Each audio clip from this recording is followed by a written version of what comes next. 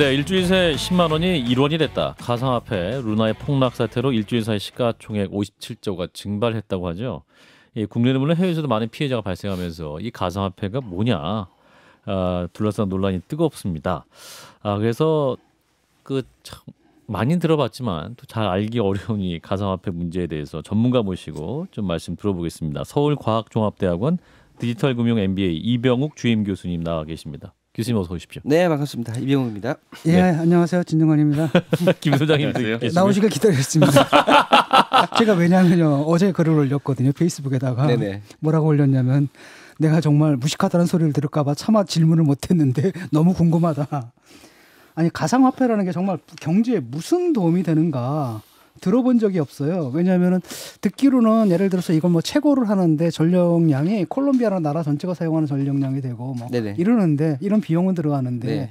도대체 이걸 왜 하는지 그 경제에 무슨 도움이 되어야 되지 않겠습니까? 네네. 근데 이, 여기 이걸 왜 하는 겁니까 도대체 경제 에 어떤 도움이 되나요 이게? 그러니까 이게, 이게 양쪽 의견이 다 있는데요. 예. 그러니까 저도 이제 같은 의견이고 음. 저는 이제 가상화폐의 경제적 가치가 없고 아 없다. 예 당연 당연하죠. 음. 그러니까 주식 시장과 가상화폐는 거래하는 형태가 똑같지 않습니까? 음. 근데 이제 많은 분들이 잘 모르시고 계실 텐데요. 예. 그 우리나라 자본시장법이라는 게 있어요. 음. 거기 보면 이제 금융투자 상품이라는 정의가 나오는데 금융투자 상품은 기본적으로 이제 원금 손실이 가능하면 우리가 금융투자 상품으로 이제 분류를 합니다. 음. 근데 원금 투자 원금 손실이 가능하다는 얘기는 사행성이 있다는 얘기거든요. 음. 그러니까 그만큼 더 더 딸 수도 있고. 네, 천 원을 넣으면 네. 천 원이 어, 뭐 100원이 될 수 있고 10원이 될 수 있고 그게 만 원이 될 수 있고 100만 원이 될 수 있다. 그렇죠. 그래서 예. 금융 투자 상품은 기본적으로 사행성이 있어서 사행성. 재밌는 얘기지만 우리나라 형법 246조에 이게 저촉이 돼요. 음. 아. 246조가 뭐냐면 도박입니다. 음. 음. 그러니까 우리나라 금융 투자 상품은 기본적으로 도박이에요. 음. 그래서 이제 우리나라 자본시장법 10조에 재밌는 조항이 있는데 뭐가 있는가 하면 이제 다른 법률과의 관계라고 해놓고 금융투자업자가 하는 금융투자 상품은 음. 형법 246조를 적용하지 아니한다라는 국가에서 조항이 있어요. 국가에서 허용해주는 도박이다. 그렇죠. 왜냐하면 도박이지만 음. 자본시장 역할을 하거든요. 음. 기업들이 자본 조달하는 역할이 더 크다고 봐서 음. 사회적 이익이 있다고 봐서 면책을 주는 시장이 이 금융투자 상품 시장이에요. 음. 그럼 주식은 한마디로 하면 도박이에요. 246조에 저촉이 되는데 예. 이게 이제 자본시장 역할을 하니까 이제 더 육성을 시키는 거죠. 음. 근데 재밌는 거는 이제 코인이 주식과 똑같은 형태지 않습니까? 그렇죠. 음. 근데 가- 과연 자본시장 역할을 하느냐는 거예요. 그렇죠. 음. 제가 궁금한 게 그거. 근데 아무도 이게 자본시장 역할을 한다는 거를 증명하지 못했을 뿐더러 음. 근본적인 차이는 뭐냐면 자본시장 역할을 하는 대신에 기업들은 증권이라는 형태로 자기 자산을 내다 판 거거든요. 예. 음. 사람들은 증권이라는 이 종이 쪼가리에 투자하는 게 아니라 증권이 대표하고 있는 자산에 투자한 그렇죠. 거거든요. 그러니까. 삼성전자를 음. 산 거는 삼성전자 자산에 투자한 거거든요. 음.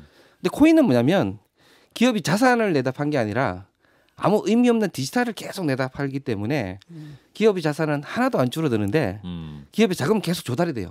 음. 그러니까 이게 불로소득이 되는 거죠. 음. 근데 근본적으로 저는 이제 예전부터 이게 이제 기업의 불로소득이자 음. 거래자의 불로소득이고 음. 자본시장 역할을 안 하기 때문에 사회적 이익이 없다라고 이제 주장을 해왔던 사람인데 예. 이제 반대로 이게 뭐 저 일자리를 창출한다거나 아니, 그거는 뭐 도박장도 일자리 어, 제, 제. 제 말이 그 말이죠. 카지노를 열어도 일자리는 늘어나거든요. 그렇죠. 근데 그런 주장이 있는데 이제 하여튼 방금 하우스 질문 도박도 왜 얼마나 많은 질문하셨지만 예. 이게 이제 뭐 경제에 도움이 된다는 말씀을 하시는 분은 많은데 예. 구체적으로 어떻게 도움이 된다고 말씀하시는 분은 저도 단 한 명도 못 봤어요. 아, 제가 돈이 돈다. 올바른 질문한 예, 거네. 예. 돈이 돈다. 네. 네. 그렇게 얘기를 하시는 분도 있고. 네. 벌거벗은 임금님이었네. 아니 또 돈이 돈다는 건 똑같은 얘기거든요. 음. 그러니까 예를, 예를 들어서 우리가 지금 주식 시장을 음. 상한가를 만들어 두고 하한가를 만들어 둔 다음에 예. 한 이유는 뭐냐면 사람은 자기 행동을 자제할 수 있는 행동이 있고 음. 자제를 못 하는 행동이 있어요. 네. 그 대표적인 도박이거든요. 그렇죠.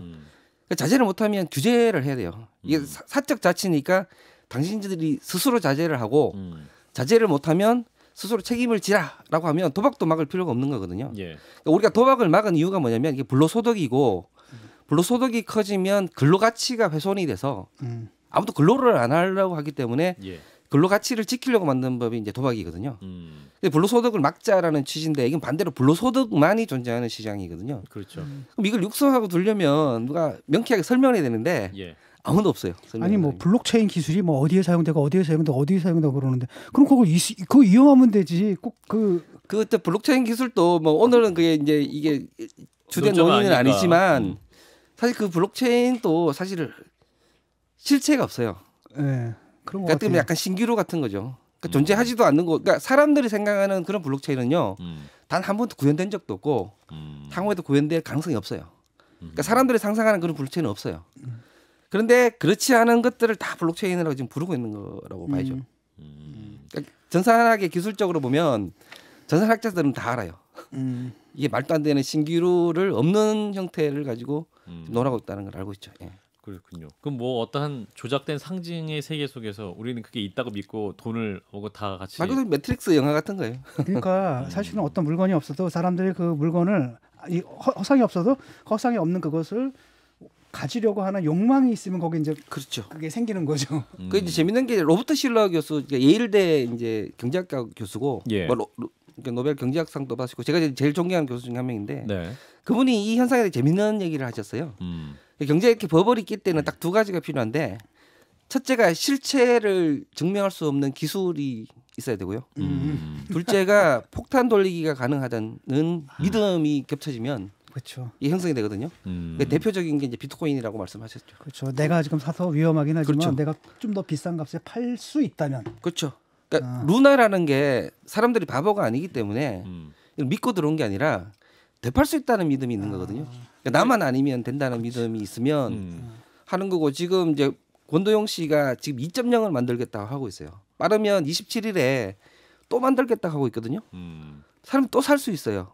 왜냐하면 예. 되돌릴 수 되팔 수만 이미 있으면 되니까. 투표를 통해서 상당한 그렇죠. 참여자들이 다시 하겠다라는 의사를 또 밝히고 있더라고요. 그렇죠. 이제 이게 이게 되게 웃겨요. 왜냐하면 이제 자기들이 독립적이라고 얘기하잖아요. 음. 그래서 이제 이게 탈중화됐다고 주장을 하는데 음. 그러면서 하는 시스템이 이제 투표거든요. 음. 근데 투표권이 한 표씩 주어지는 게 아니라 코인을 많이 갈수록 음.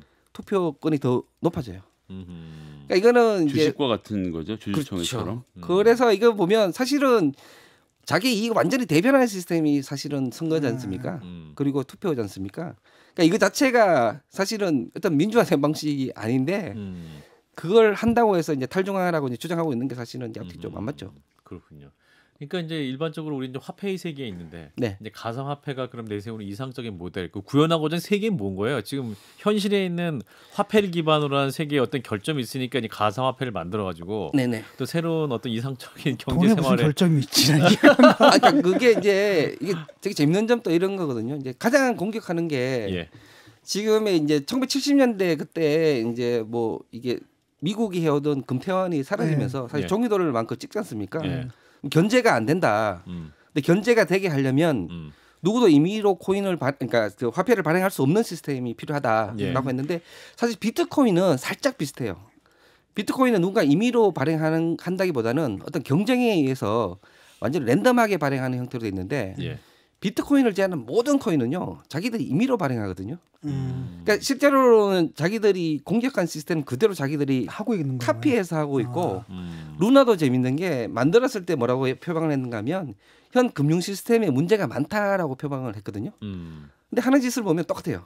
음. 현 금융 그러니까 지금 이제 루나가 하는 여러 시스템이 지금 ETF에서 지금 저 유동성 프로바이더들이 하는 거를 그대로 카피해 온 거랑 음. 하여튼 하는 형태는 기준금융을 그대로 갖고 왔으면서 예. 기준금융을 욕하고 있는 거죠. 음. 그러니까 목적물만 코인으로 바뀐 건데. 폰지 사기라고 이제 얘기가 많이 하는데 네네. 이제 폰지 사기라는 게 일단 신규 투자자의 돈으로 그렇죠. 이미 투자하신 분에게 돈 주고 네. 계속 이제 계속 오는 사람들 돈을 여기 돌려막기 하는 그 네, 폭탄 돌리기를 그 말씀인 거죠. 예. 그러니까 이게 근본적으로 테라라는 코인을 팔았는데요. 예. 그 테라라는 코인을 산 다음에 자기들한테 예치를 하면 음. 연20% 수익을 약정을 한 거예요. 음. 그러니까 사실 20% 수익이라는 게 말이 안 되지 않습니까? 음. 근데 20% 수익을 주기 위해서 새로운 코인을 발행해서 그 이자를 줬는데 예. 근데 그 이 판 코인이 어디서 팔려야 되지 않습니까? 그렇죠. 그러니까 근본적으로 뒤에 들어오는 투자자가 있어야만 음. 앞에 이익을 줄 수 있는 모델이니까 형태는 완전히 딱 폰지죠. 그렇죠. 음. 사실은 세계 인구가 그렇죠. 무한수라면은 작동 가능한 그러니까 모든 피라미드가 네. 방금 말씀하신 것처럼 모든 자원이 무한대라고 하면 완벽하게 작동을 해요. 작동하겠죠. 음. 근데 무한대가 아니면 작동이 안 되기 때문에 피라미드가 존재할 수 없는 거거든요. 무한대가 아닌 걸 발견하는 순간 그때 이제 그렇죠. 사기라고 되는 그때부터 거죠. 무너지는 건데 무너지는 이제 이것도 거고. 마찬가지인 거죠. 음. 아니 그러면은 이게 사실은 그렇지 않습니까? 여기 투자해가지고 돈을 많이 번 사람들이 있고 네. 그 돈이 뭐 하늘에서 떨어진 건 아니고 네. 투자 많은 사람들이 이제 의 돈을 사실 뺏은 거잖아요. 그렇죠. 그러니까 이게 법률적으로도 지금 뭐 한동훈 법무부 장관이 그 뭐 증권 남부 그 증권 범죄 합동수사단. 만들어서 음. 네. 이걸 수사하겠다라고 한 것은 이게 법률적으로도 사기다라고 좀 규정하고 있는 것 같거든요. 근데 굉장히 애매모호한 것 같아요. 이게 법률적으로 정말 범죄인지 아니면은 근데 이게 사실은 처벌하기가 쉽지가 않은 법 게요. 영역 밖에 있는 거죠. 왜냐하면 이제 자기가 이 테라라는 걸 팔면서 예. 이게 1달러라고 유지됐다고 한 건 자기 구두로 그냥 얘기를 한 거거든요. 그 공신력 있는 어떤 법적 장치가 뭐 계약서 아니라 쓴 것도 아니고. 아니고 음. 그러다 보니까 이제 이제 기소할 수 있는 방법 두 가지 정도가 있는데요. 예. 하나는 말씀하신 것처럼 사기죄로 기소를 할 수가 있는데 음. 사기죄는 처음부터 의도를 했었어야 돼요. 음. 음. 내가 이렇게 했다가 가격을 아. 폭락시켜서 음. 근데 이게 그거는 입장하기 쉽지가 않을 거고요. 그렇죠. 예. 왜냐하면 이거 뭐 나는 원래 잘 하려고 했는데 그렇죠. 잘 못된 거다 이렇게 그렇죠. 그렇게 주장할 수가 있는 거. 두 번째가 이제 유사 수신행위라는 게 있는데요. 미래 수익을 약정시키는 거거든요. 음. 20%를 주겠다고 한 거잖아요. 음. 근데 이것도 빠져나갈 구멍이 유사수신 행위를 할 때는 이게 법정화폐가 개입이 되, 되거든요. 음. 근데 코인으로 20%를 주겠다라고 하면 또 법정화폐가 아닌 문제가 있는데 아. 이걸 조금 더 보면 애초에 이제 테라라는 게 팔린 이유가 어쨌든 20%를 주기 때문에 법정화폐로 산 거거든요. 테라를 최초에 산 거는 음. 나중에 20분 20%라도 근데 그렇게 해석하면 이게 유사수신 행위로 처벌될 가능성이 있다고 보고요. 음. 사실 이게 루나가 처음이 아니거든요. 이런 게 엄청나게 많이 발생했고 음. 사기죄로 여러 번 기소된 사람들이 많아요. 예. 그 사람들은 다 이제 의도성을 입증을 못해서 거의 다 무죄로 나왔고요. 음. 그러, 그런데 이번에도 똑같이 기소는 될 수 있다고 보는데 의도를 뭐 입증하기는 힘들다고 보고요. 다만 유사 수신행위는 정말 해석할 수 있는 여지가 좀 많아서 음. 음. 그걸로 꼭 좀 처벌했으면 좋겠다는 자, 좀 바람이 있습니다. 궁금한 거를 여쭤보면 네네. 그래서 57조 원이 네. 증발했다 이렇게 시총 표현을 하잖아요. 네, 예, 시조가 예. 증발했다. 시가총액이라고 하는 건 루나가 가지고 있던 전체 가치가 그렇죠. 57조였던 것이고 네. 그게 이제 어느 순간 만, 만 분의 1로 줄어들면서 이게 사라진 건데 네네. 사라진 것까지 맞는 거죠. 네. 누구 주머니 누군가의 주머니에 들어갔다는 얘기잖아요. 근데 그 57조가 다 들어간 건 아니겠죠. 그게 이제 눈앞에서 보이는 가치가 올라가서 없는 돈이 생긴 것처럼 보이는 것도 있지만 그 중에서 실제로 수익은 얼마였을까요? 정확하게 이제 보신 게요. 이게 사실은 가상자산은 자산을 기반으로 한 게 아니지 않습니까? 음. 그 사실은 평가 이익만 있는 거거든요. 예를 들어서 오늘 제가 코인을 하나 발행하고 음. 오늘 제가 이제 김성현 소장님한테 1달러에 판 거예요. 하나를 네. 발행했으니까 내 그럼 시총이 1달러잖아요. 음. 그리고 내 밤에 프로그램으로 만 개를 다시 만들었어요. 음. 음. 갑자기 만 배가 되거든요. 음. 똑같아요. 코인은. 그러니까 음. 그게 57조라고 하는 거는 그냥 막 발행해서 예전에 발행된 거는 당연히 10만 원이 아니겠죠. 음. 그러니까 예전에 발행된 걸 이 다 최고가로 계산했을 때 57조라는 거고요. 음. 음. 실제로 취득가가 있을 거고 거래가가 있고 하니까 뭐 피해는 몇 조 정도로 지금 아. 예상을 하고요. 음. 근데 중요한 거는 그래도 조단이 되네요. 아 되죠. 그 국내에서 피해자만 지금 추정된 것만 20만 명 정도인데 음. 음. 근데 사실은 국내 거래소에만 거래된 게 아니라서 훨씬 음. 더 될 거라고 보고 당연히 조 단위는 훨 넘어갈 거로 보고 있습니다. 예. 와. 그럼 그 조 단위 수익은 먼저 판 사람들이 알 수 없는 여러 명들이 가지고 있는 건가요? 아니면 그런 사람은 극소수일 거고요. 예. 최근 오, 오히려 이게 누가 이번에 수익을 받는가 하면 사실 이게 아- 이게 요지는 그 동안에 스테이블 코인이란 게 이제 등장할 때는 코인 값이 워낙 들쭉날쭉하니까 네. 자, 내가 발행한 코인은 항상 1달러에 유지된다라고 음. 주장한 게 스테이블 코인이었고요. 음. 일, 일반적인 방식이 뭐냐면 내가 1달러 그 코인을 발행할 때마다 실제로 1달러를 은행에 적립해 두겠다. 음. 태환 화폐처럼. 그렇죠. 음. 네가 갖고 오면 태환화폐처럼 이걸 주겠다라고 했던 게 일반적인 방식이었어요. 예. 근데 이제 이- 이 루나는 뭐냐면 1달러 적립 안 하고도 음. 1달러를 유지시켜 주겠다고 주장하면서 음. 주장만 있습니다. 예. 근데 어떻게 그럼 할 거냐 하니까 떨어지면 사서 가격을 다시 부, 부양하겠다. 그럼 뭘로 살 뭘로 살래가 가, 저거 가, 다, 다른 비트코인. 코인으로 사겠다는 거예요. 음. 야, 법정 화폐가 그 아닌. 옛날에 그 인도인들하고 똑같네요. 뭐왜 지구는 떨어지지 않는 거 같더니 거대한 거북이가 받치고 있기 때문이다. 그 거북이는 누가 받치고 있느냐 했더니 그 밑에 거대한 뱀이 받치고 있기 때문이다. 네네네. 뭐 계속 네네 이제 그런 식으로 해서 이게 이게 이게 계속 돌고 돌고 돌고 했던 거거든요. 음. 제가 궁금한 건 그래서 이 코인을 발행한 주요 멤버들이 있을 거 아닙니까? 네네. 이 사람들은 그럼 대단한 수익을 거뒀을까요? 아 그러니까 그래서 이제 일부 수익을 중간에 일찍 들어온 그 사람들 대단한 수익을 거뒀지만 음. 그래서 마지막에 수익을 누가 거뒀는가면 사실 이게 지탱될 수 없는 시스템이거든요. 예. 그렇죠. 예를 들어서 누가 막 투매를 시작했을 때 이걸 되사기 위한 그 자원은 한정돼 있으니까 음. 더 투매를 하게 되면 이거 더 이상 방어할 수 없다는 걸 누구나 알 수 있지 않습니까? 그렇죠. 그래서 공매도를 했어요. 음. 그 공매도 한 세력이 있을 거고요. 아, 공매도라고 하면 루나의 코인 가치가 떨어질 떨어질, 것을 거라고 미리 예측하고 하고 계속 집어 던진 거죠. 그 예를 들면 내가 100달러에 집어 던지면 나중에 메꿀 때는 이게 1달러로 떨어진 걸로 사서 메꾸면 되거든요.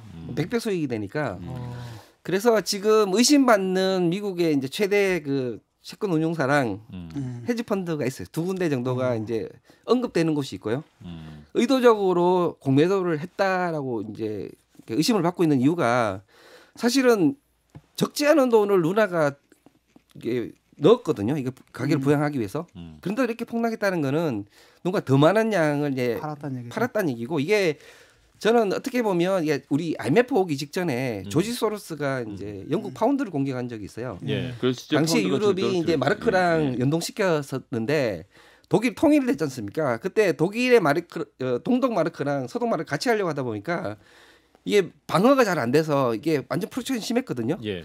그것 때문에 모든 다른 유럽이 이제 이게 신경 쓸 때 그때 공매도 때린 게 음. 조지 소로스가 영국 파운드였어요. 음. 그래서 이제 마르크하고 연동시키려고 하니까 이게 나중에는 도저히 안 돼서 그걸 이제 연동을 안 시켰거든요. 이것도 마찬가지인데 처음부터 그런 결함이 있다는 걸 알고 이제 공매도를 때렸는데 그걸 못 막은 거죠. 음. 결국은 누가 돈을 제일 많이 벌었는가 하면 마지막에 공매도 친 이제 사람들이고요. 실제로 그건 드러나게 되나요? 모르죠. 네. 이게 가상화폐니까요. 음. 그리고 이제 추정하시는 거죠 외국에 있는 뭐 예, 예. 그러니까 그러니까 어떤 그러니까 공매도가 들어온 건 확실한데요. 음, 그 세력들이 맞는지는 알 수 없지만 음. 공매도가 들어온 건 근데 이제. 그 말씀은 다른 말로 하면 네. stable coin을 다른 어떤 종류로 만들어 놓고 네. 어떤 앵커를 박아 놓는다고 하더라도 네. 그런 공매도 세력이 그 stable coin을 지탱하고 있는 자본보다 더 큰 자본을 들고 들어와서 공매도를 때리면 네. 똑같은 식으로 수익을 빼가고 망하게 할 수 있는 여지는 충분히, 충분히. 있다라는 충분히 결론이 있죠. 도달하는 거네요. 예, 예, 충분히 있죠. 음. 왜냐하면 stable coin 자체가 가진 게 그런 위험을 가지고 있는 거고요. 하나도 안 stable한 하나도 안 거네요. stable한데? 그러면 아, 그렇죠. stable coin인데 하나도 안 stable한 아니 거죠. 파운드화도 무너지는데 stable coin이 무슨 수로 버티겠어요? 거기다가 어쨌든 stable한 게 구두 약속이거든요. 어, 그걸 그냥 믿으신 거잖아요. 약속. 계약서 쓴 것도 아니고. 약속. 어, 그러니까 문제는 책임 소재가 없다는 거죠. 그러니까 이건 뭐 현실에서는 금융위원회 같은 게 있어가지고 그렇죠. 금융당국이 제재를 하고 이상한 금융 뭐 있으면 그거 이제 영업 정지 시키고 뭐 이렇게 원금 보존해 주는데. 예. 이런 건 전혀 그런 생각이 없는 거기 때문에 없는 거죠. 도박도 이런 무서운 도박이 없는 거네요. 그렇죠. 음. 그러니까 다시 뭐 2.0 만들겠다 그러고 이게 이제 큰 소리 칠 수가 있는 거죠. 제가 지난번에 말씀드렸지만 우리나라 해외 도박 시장이 규모가 80조 원이에요. 음. 그래서 예상보다 더 많은 사람들이 일확천금을 노리고 여러 가지를 뛰어드는데 음. 이젠 뭐 그렇게 폄하할 수는 없겠지만 가상화폐도 그런 영역에 들어와 있는 것으로 보여지는 것이고 그렇죠. 예, 그렇죠. 사실은 이제 부자들한테는 더 좋은 도구가 없는 거죠. 음. 그 이번에 그 문제가 된 stable coin하고 네. 그냥 많이 코인하면 이제 대표 대명사가 비트코인 아닙니까? 네네. 뭐 비트코인 가지고 뭐 이걸 사기도 하고 뭐 거래도 네네. 하고 뭐 이러지 않습니까? 네네네. 나름대로 또 화폐 기능을 좀 하고 있는 것 같은데 어떤 차이가 있나요?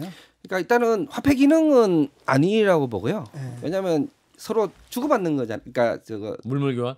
그 매매가만 존재하는 매매가만? 존재하냐? 우리가 화폐라고 할 때는 그 자체가 결제를 할 수가 있어야 되고 음. 소위 말하는 물건값을 치를 수가 있어야 되지 않습니까? 예. 비트코인으로 물건값 치르잖아요. 아, 그러니까 물, 그러니까 이런 거죠. 예를 들어서 제가 이 물병을 내, 주면서 뭔가라는 물물 교환이거든요. 네. 예전에 물품 화폐의 역할을 하고 있는 거지. 우리가 아. 말하는 화폐라는 거는 범용적 범용적인 결제 기능을 가졌을 때 화폐라고 하고 음. 그렇게 할 수 있는 유일한 방법은 강제하는 수밖에 없어서 음. 그래서 법정 화폐가 있는 아, 거거든요. 그러니까 쉽게 말하면 돈은 어디서나 받지만은 이거는 그렇죠. 범용성. 아, 범죄. 그래서 강제하지 않은데 화폐로 했던 거는 유일한 게 금하고 원이에요. 그걸 제외하고는 세 번째가 우리가 쓰고 있는 게 지금 손에 법정 화폐지 않습니까? 음. 그러니까 이건 유통을 법으로 강제한 거거든요. 아 그렇죠. 그래서 통화라고 지금 유통화폐를 줄여서 부른 거고 그래서 일단은 화폐는 아니고요. 그리고 비트코인과 나머지 모든 대부분의 코인의 가장 근본적인 차이는 나머지 모든 코인은 운영자가 있어요 별도로. 음. 그래서 그 운영자가 원할 때 얼마든지 코인을 발행하니까 사실 블록체인이라 부르기 힘든 거죠. 그러니까 거기는 굉장히 자의적이고 임의적이고 임의적이고 자의적인 반면에 음. 비트코인도 약간은 중앙화돼 있습니다만은 음. 발행하는 형태랑 이런 게 어느 정도 random화돼 있어요. 음. 그래서 누군가 사유하기가 힘든 구조라고 보시면 됩니다. 음. 그러, 그렇지만 어쨌건 비트코인 다음에 이제 이더리움 나- 위에 나오면서부터는 smart contract를 이용해서 서로 사용자 간의 규제는 할 수 있는 시스템을 갖췄다고 얘기는 하는 거 아닙니까? 그게 이제 그러니까 비트코인하고 가장 이더리움 가장 큰 차이는요. 이더리움은 말 그대로 그 이더리움 재단이라는 게 존재를 하는데 이게 비탈릭 부텔이라는 그 러시아 개발자에 장악당한 상태고요. 마음대로 소스 코드를 계속 아. 바꿔오고 있고요. 음. 무엇보다도 더 중요한 거는 이더리움은 처음에 만들 때 7,200만 개를 임의로 자기가 만들었어요. 이걸 선채굴이라고 하는데 채굴이 아닌 상태로 만든 다음에 시중에 계속 내다 팔았는데 그게 지금 또 전체 유통량의 65%예요. 음. 그 말은 뭐냐면 이제 남들은 채굴하게 내버려 두고 음. 자기는 선축을 해서 팔고 있고 그 다음에 이더리움은 비트코인과 가장 큰 차이가 얼마든지 자기들이 바꾸고 싶을 때 계속 입맛대로 발행량도 바꿔왔고요. 그리고 개발자의 맛도 계속 바꿔왔기 때문에 그래서 이제 우리가 비트코인만 암호화폐라 부르고 나머지 다 altcoin이라고 소위 말하는 아. 잡코인이라고 부르는 게 이유가 있거든요. altcoin. altcoin은 소위 alternative. 말하는 이제 잡코인이라고 아 잡코인. 약간 비하해서 부르는 말이고요. 아. 그래서 비트코인을 제외한 모든 거는 altcoin, 잡코인이라고 아. 부르는 이유가 근본적인 차이가 좀 있습니다. 아. 그렇구나. 교수님은 코인 하세요 그래서? 안 저, 하세요? 저는 아까 말씀하신 것처럼 남의 돈을 갈취하는 거라고 생각하기 때문에 네. 저는 코인을 안 합니다. 예. 아. 그런데 이제 또 그 가상화폐랑 또 그 각국 중앙의원 차원에서 중앙은행 차원에서 디지털 화폐를 발생 발행하겠다 뭐 이러는데 그 무슨 차이가 있고 또 왜 이걸 굳이 해야 되나요? 아 CBDC는 그걸 이제 CBDC라고 부르고요. 네. 센트럴 뱅크가 이제 발행하는 디지털 커런시라고 발행하는 건데 일단 암호화폐하고는 아무 상관없고요. 아, 그 저는 이, 이런 거죠. 저희가 제, 대전에 있는 조폐창에서 5만 원권을 찍는데 40일이 걸리거든요. 예. 예. 근데 이제 생각해 보시면 작년 1년 동안에 현금 얼마나 쓰셨어요? 저는 하나도 안 썼어요. 그죠? 그게 평균이 21% 정도 썼거든요. 음. 그러니까 이제 왜 계속 새로운 화폐를 공급을 할 때 종이를 굳이 있냐? 종이를 찍어야 될 필요가 있냐 해서 출발한 거예요. 아, 근데 이제 우리나라는 워낙 이 payment가 잘 발달이 돼서 네. 과연 이게 실효성이 있냐라는 건데 이제 중국 같은 경우에는 현금 사용률이 거의 60%에 육박하거든요. 아 그래요? 아직도. 예, 그래서 이제 반은 저기 위챗페이, 반은 알리페이라는 payment가 이제 음. 아, 하고 있고 나머지 반은 현금인데 음. 거기는 약간 의미가 있을 수가 있죠. 디지털화. 음. 근데 우리는 좀 소매 금융에 들어오려면 좀 얘기해야 될 게 많고요. CBDC는 말 그대로 왜 우리가 종이돈을 계속 찍어야 되느냐라는 음. 논이지 음. 암호화폐와 아무 상관없는데 이걸 굳이 연결시킨 건 누군가 하면 다 암호화폐 쪽에 있는 사람들이에요. 이렇게 들어왔 들어왔다. 그러니까 막 이렇게 너희- 같이 네. 연결돼 있는 것처럼 해서 뭔가가. 뭐 뭐좀더 돋보이게 하려고 하는 거죠. 예, 그 비트코인의 미래는 어떻게 봐야 되나요? 그러니까 이게